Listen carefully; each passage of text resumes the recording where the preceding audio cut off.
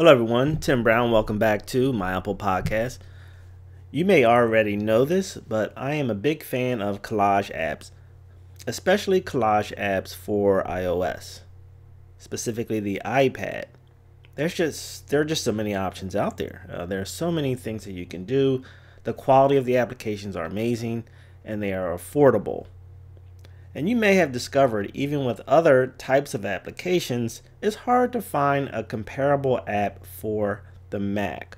One, the Mac computer is different. It's, it's an entirely different interface. It's a different screen size, a different user interface. It's hard to find an app that equals the experience on the iPad. And I think all of you would agree with that. And the same can be applied to collage apps. It's just hard to find a collage app that can match the ease of use and the experience that you have on the iPad. And it's definitely hard to beat the price. However, we do use Macs, those of us who have Macs anyway, and we do want to find something compar comparable to that experience for those of us who like Macs. Uh, we do get the benefit of having a larger screen size, and, and that's helpful. Likewise, because of that, you're going to wind up having to pay just a little bit more. I've had a hard time finding collage applications that work really well on the desktop for me. And I've also had a hard time finding collage applications that can work with older operating systems. For example, uh, my main computer still to this day is my old MacBook Pro, still using a 32-bit processor running Snow Leopard. And if you're like me, you probably are you're probably running into the same problem where you just cannot find enough applications in the App Store that can run on your operating system. And I know that's the downside of having an old operating system, but for those of us who are just not ready or can afford to move up, in my case, it's nice to know what those options are for us, as well as for those with the latest operating system. And I found a collage app that works well for me. It's called CFX Collage. And this is what it looks like in the App Store, and they're currently offering it for $19.99. Let's go ahead and take a look at the features. So I'm going to go ahead and open CFX Collage. You see here you're greeted with an intro menu telling you about the application. Uh, you click Start using Collage to begin, and immediately you're you're given a collage template by default. I usually begin right away by just getting rid of this frame and just going and picking a new one. But before I do that, let's just go over the features. At the top left, you have the option to save. You can choose a template by clicking on the template icon. And when you go into this menu, here you can change the pixel dimension of your collage, give your collage a name, of course, choose the type of paper that you're setting your collage up for. And this is, helps you too with dimensions you can also set up your collage to coincide with a device. So in this case, I'm just going to choose the larger dimension for HD. And then on the right here are the available templates. And you can scroll through and decide which one you want to use. So I'm going to go ahead and just choose this one. Okay, and because of the resolution size here, it actually extends the size of my screen. So I'm going to do a command minus sign and bring this down to scale so I can actually see it. Before I begin though, let me just continue going through all the other features just so you can see what's on the menu up above. You can see there's an export option. That's how you save your project when you're done. I'm going to do that later. You can, you can preview your collage anytime. You can email, send to Flickr, you can even add your collage to your desktop. And you have a max crop, max all tool. You can rotate pictures left to right.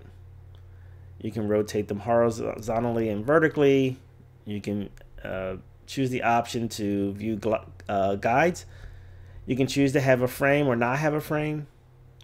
You can, and You can add or modify or customize the color of the frame. You can randomize photos. You can choose different layouts. You can clear away certain items.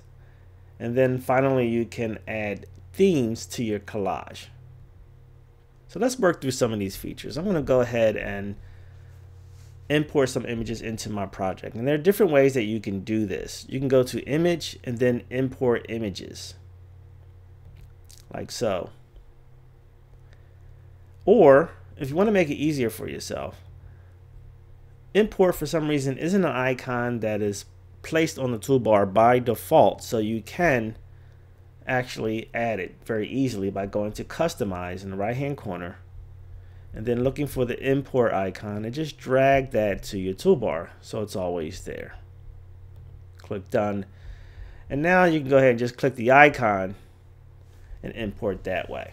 So I'm going to go ahead and just import a few images to start out with. I'm just going to select first fill empty frames. Okay. Now you notice that I still have one empty frame left. I could go and import another one. Or if you just want to make it easier for yourself, you can just go ahead, bring up a Finder window, and just simply drag the image right into the space. Most of the time, I just prefer to do it that way. Now, the way this application works is this.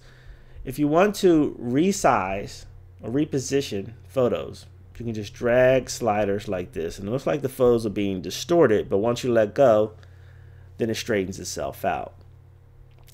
That's what I like about this application. It gives you a lot of flexibility that way. I mean, you can just move things around however you want to make the available spaces that you want to have set up. And say, for example, you want to straighten out the proportion. Like on the bottom right here, I want to reveal more of this image. You press down the command key and then swipe left or right to resize. That's how it's done. So it's command, I'm using the trackpad, so I'm pressing down on the command key, then pressing down on the trackpad and then swiping left to right to resize.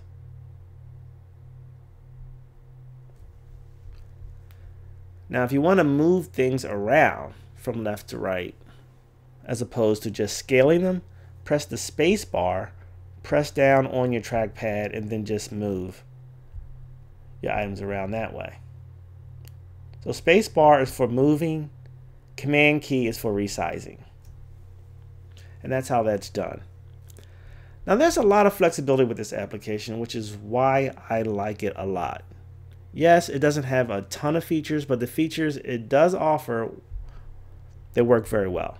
So let me bring up my Finder window again, just so I can illustrate some of the flexibility here. So let's just say, okay, I chose this template, but you know, I realize that this is not really the kind of template I want. I want to add another picture somewhere near along the bottom. So I'm going to take this collage and I'm going to drag it over top. And you see I have the option to replace that image or if I move it over a bit, you can see it now sets another column up. And now I have two columns instead of one. And I prefer it that way.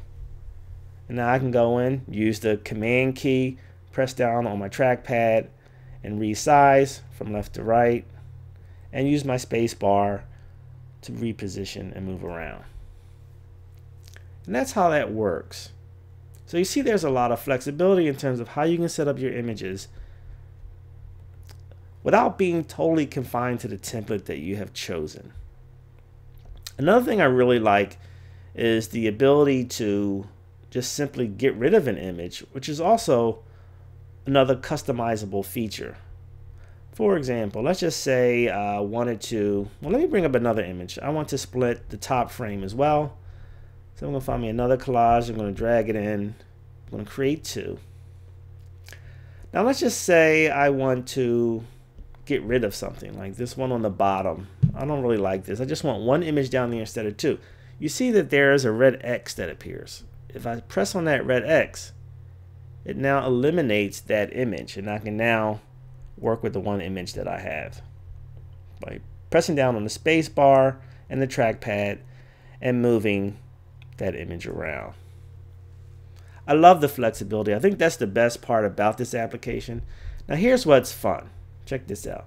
You can also randomize your images by clicking the randomize button here in the top right and it just sends your images around to different locations. I love doing this. I think I can do this all day long. I, I love this option of randomizing the images. I don't know, for me, it's just an awful lot of fun. You also have the option too of flipping things vertically and horizontally. So for example, if I select this first photo in the top left, I can click on horizontal and have it go back and forth or flip vertically. I love that option as well. And then you can have it turn left or right. So I love that option too. You can choose to have a frame or not have a frame. So here I've just deselected the frame and now all the images appear to meld into one.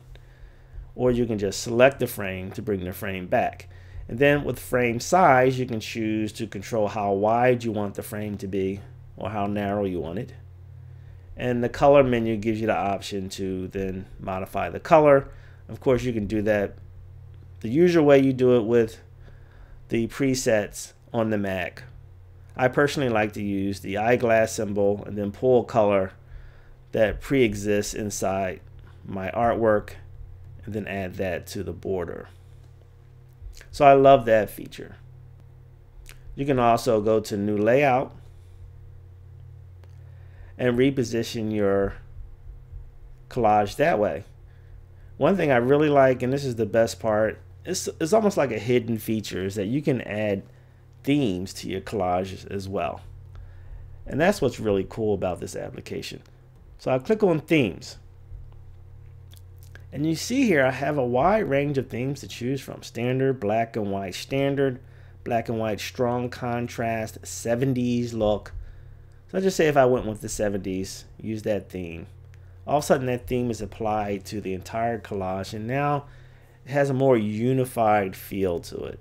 I really love it. And you can just play around with all the different themes that are available. There are quite a number to choose from. There's sepia here, another sepia, glaring light, uh, black and white glaring light, Mediterranean afternoon, desert evening, and so forth. Try desert evening and see what that's like. Oh, that looks really cool. Let me try one more. It's a little different, maybe off the beaten path. Here's a uh, hard photo paper or quick quicksilver. Oh, that sounds kind of interesting. So this is quicksilver.